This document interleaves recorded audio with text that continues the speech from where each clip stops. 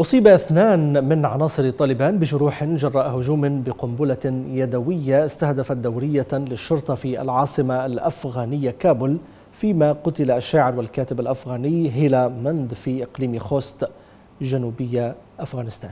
قال المسؤول الإعلامي في وزارة الداخلية قاري سعيد خوستي في بيان إن دورية تابعة لقوات طالبان تعرضت صباح اليوم لهجوم بقنبلة يدوية في كابول ما أدى إلى إصابة اثنين من عناصر الحركة ولم يدلي الرجل بأي تفاصيل أخرى حول الهجوم لكن أحد شهود العيان قال إن الهجوم وقع في منطقة ديه منزك وإن المهاجمين لاذوا بالفرار. قال شاهد عيان ثاني إن أربعة من الطلاب الجامعيين أيضا أصيبوا بجروح نتيجة الهجوم بالقنبلة اليدوية وقد تم نقلهم إلى المستشفى. في غضون ذلك اغتيل صباح اليوم الشاعر والكاتب الأفغاني هيلا مند زوند في مدينة خوست جنوبي البلاد ما أدى إلى مقتله على الفور.